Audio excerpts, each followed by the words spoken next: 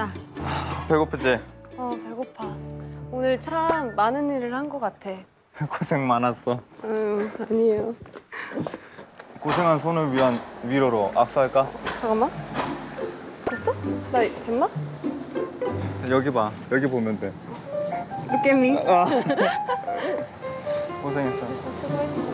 여기가 좋아. 손잡고 가자는 얘기를 와 되게 은근슬쩍 이제 그냥 하네. 뭐? 이렇게. 좋지. 그럼 내가 너 나 네 손을 잡고 싶어. 우리 악수하는 게 어때? 손 내줘 내어줄래? 이렇게 말하면 좀 이상하잖아.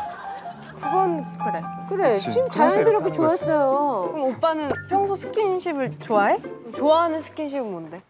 뽀뽀? 아 은남하게 꼈어. 그치 은남하게 꼈어. 아니야 아니야 아니야. 스킨십은 그냥 어깨 동무. 소은이는 어깨 동무 별로 안 좋아하잖아. 와, 이 버전이 있고 응. 이 버전이 있다?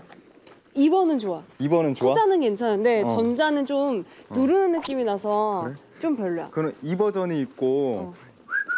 이 버전이 있어. 나는 팔짱 끼는 거 좋아해. 아 그래? 응. 나는 피드백이 없는 여자야. 당신아, 이 양반아. 뭐 이걸 또 내가 다 맞춰주면 어. 아, 밀당을 하시겠다? 우리- 소은이가 피드백이 약해요. 시간을 조금 더 주는 걸로. 지금은 제가 많이 당기고 있죠. 그렇지만 밀어도 밀어도 쓰러지지 않는 오뚜기죠.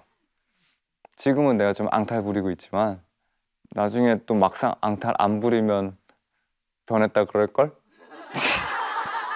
그러면 당신이 좋아하는 스킨십이 뭐야?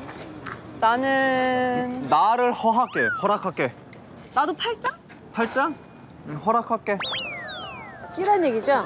잡을만 하겠어요. 이렇게 안 가 지금 공준 거 맞죠? 그봐 아니 저기 갈까? 저기 갈까? 그래 귀엽다. 이거 이건 네 거야 김송 거? 어